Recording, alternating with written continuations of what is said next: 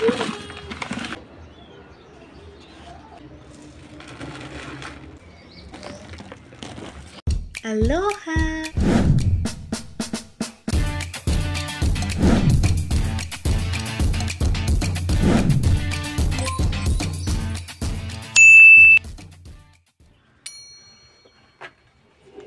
Aloha! Welcome to today's video where I'll be showing you a tour of my balcony garden. It's a tiny space, but I really love how it looks these days. So welcome, enjoy! These are my coriander which I'm about to harvest, the first time ever harvest. And I'm pretty happy with the results. I'm truly excited for this video and I hope you watch to the end for there will be a surprise at the end of it. A surprise food I made using what I've harvested. Stay tuned, enjoy.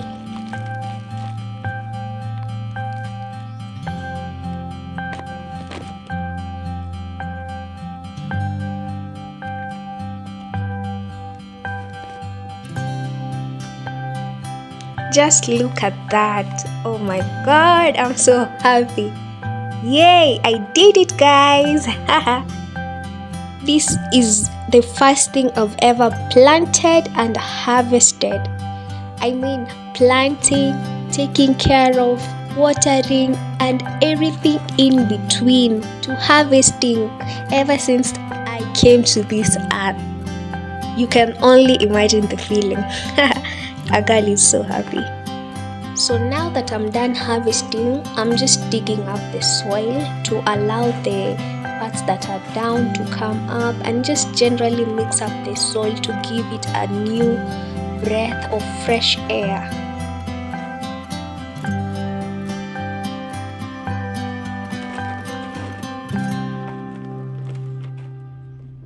Oh wow! Ooh, I even forgot about this avocado seed that I put it in there a long time ago.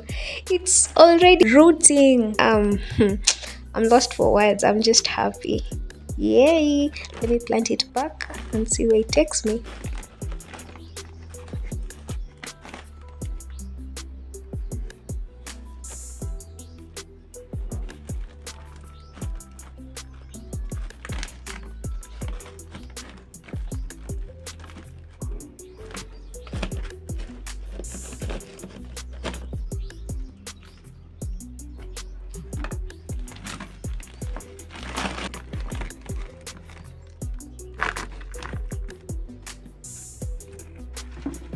Now i'm sieving off compost. This is compost i collected last time. And you can see the video if you still haven't on how i make compost that doesn't smell bad just in a bucket. And i put it on my balcony. Uh, so now after sieving you see how fine it looks. It's so amazing. It smells so earthy. It's just good for my organic journey and it does good for my crops. So i'm gonna put back i mean pour some in the soil to just replenish the soil. And yeah so that i can be able to transplant my other plants in this very soil.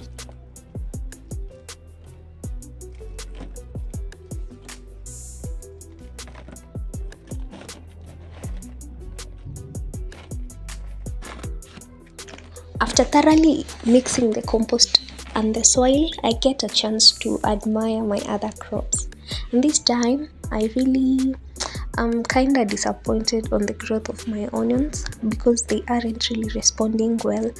I think the weather has something to do with it, or I don't know, because onions in my country at the moment, the price is just way too crazy and they're not in abundance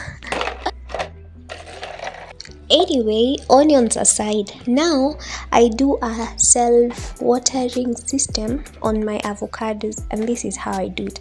I just cut the bottle of a soda and split it into half. The top part i put soil and where i put my seed in. Yes as you can see it's an avocado seed.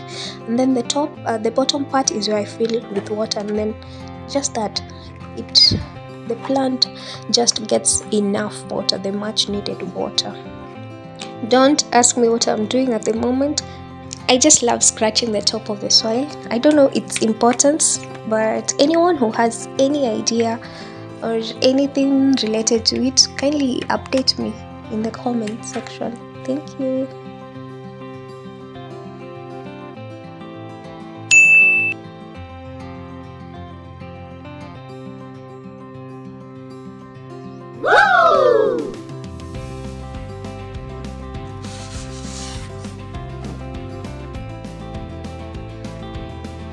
Always approach your seedlings by gently holding onto the leaves and not any other part.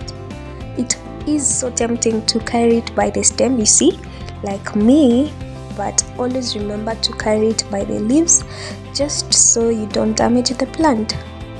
Remember, I'm no expert in this field, but I'm just sharing tips on what I've learned along the way.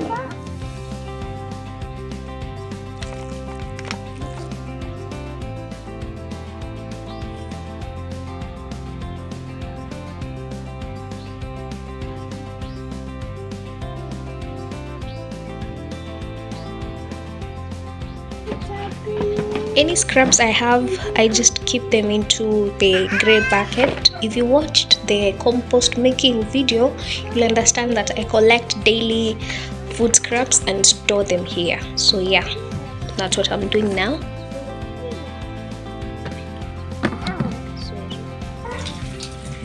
i then wash my dhania really nicely get off all the soil all the weeds just thoroughly wash the coriander.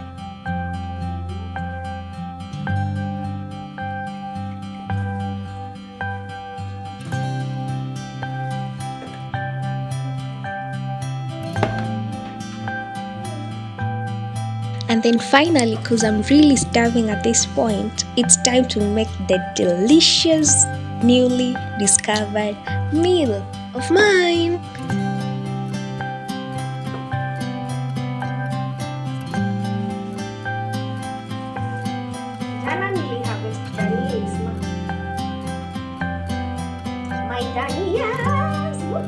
And yay! Thank you so much if you've stayed tuned up to this point.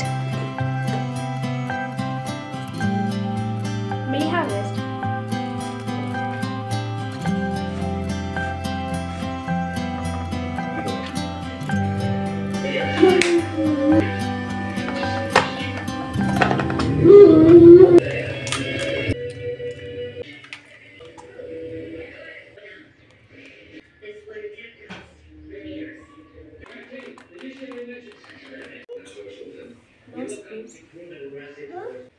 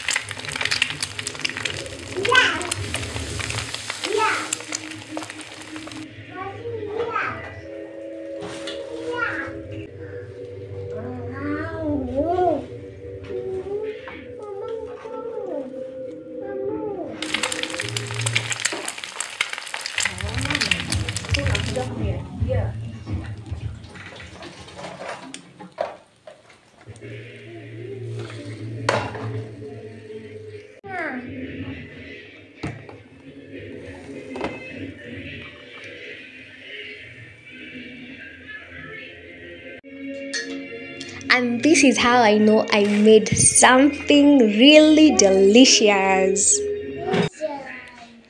Say delicious, Mama.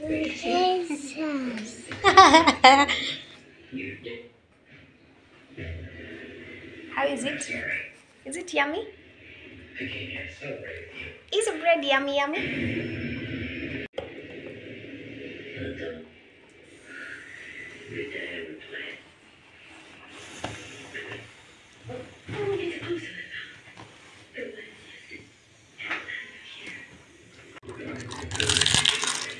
Oh yes, eggshells too go into the compost and be careful while crushing them because at times the shells poke.